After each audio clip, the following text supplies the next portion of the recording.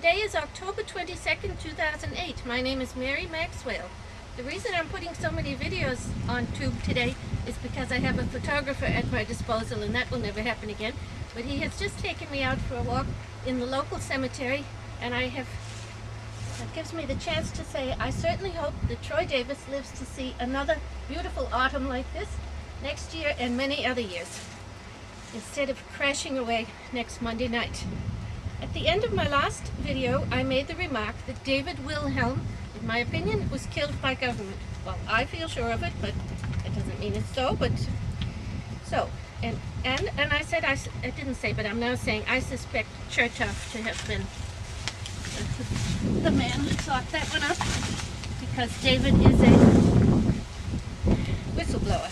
And we have Stephanie Tubbs Jones. She was the head of the House Committee on Ethics until recently and she died in August. No one has made any fuss over it, but to me that certainly looks like a whistleblower death, and the method was classical uh, CIA, which is she was in a car, but also had an aneurysm. Perhaps they thought she would go into a tree, which is supposed to happen, but she went into an open field, so didn't die till a day later.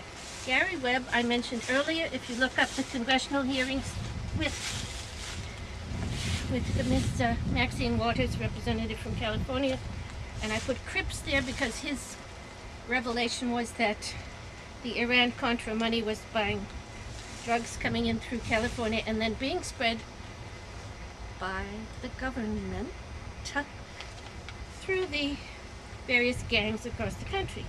Now, I say with great respect to the MacPhail family that I don't know, but it is just possible that their man also was a whistleblower or someone who, that's the person that Troy is accused of killing. I'm just saying there are patterns here. This is my dear friend Senator Jeannie Ferris in Australia. And she died recently of cancer, ovarian cancer. And in her case, there is the greatest reason to understand that this was a, a job done on her because at her funeral, her husband was prepared to he was a journalist in Canberra. He was, I assume, going to tell tell, and he was killed in a one-car crash on his way, not to the funeral, but a day or so before. Here's to you, Jenny. Sorry. And then there's Pat Tillman. I'll tell you about that one in a minute.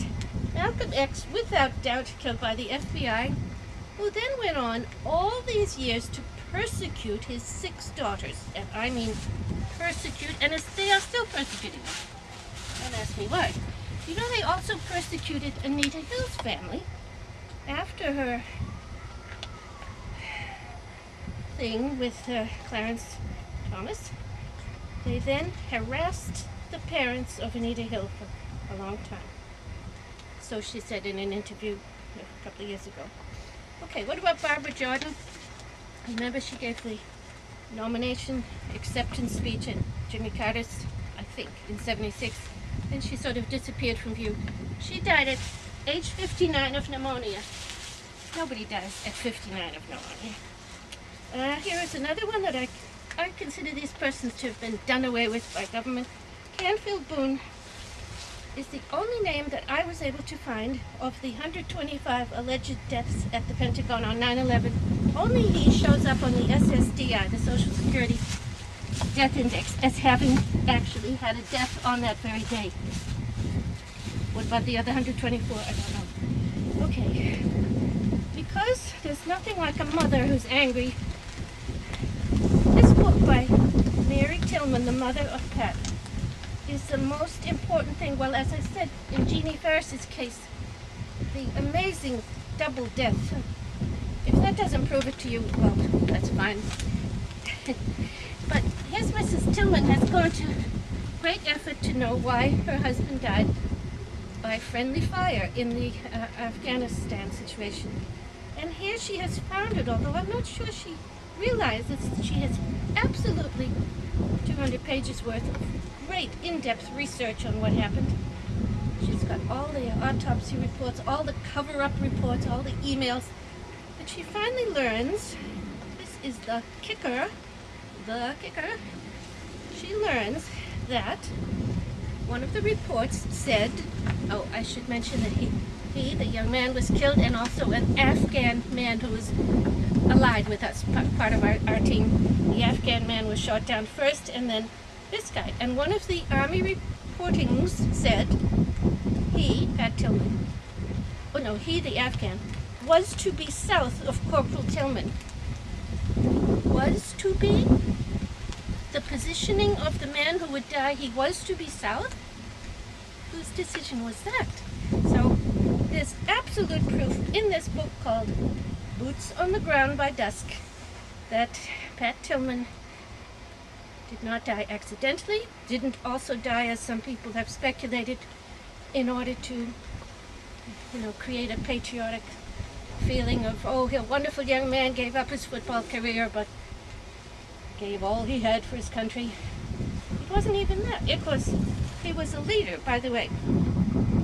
Malcolm X, a very great leader, a very brilliant man. Pat Tillman, a superb gentleman, aged 26 or 7. I think Malcolm was 40, I'm not sure.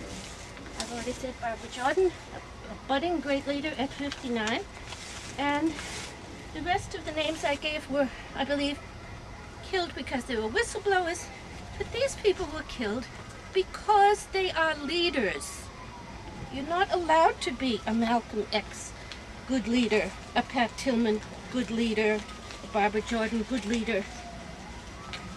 Isn't that amazing?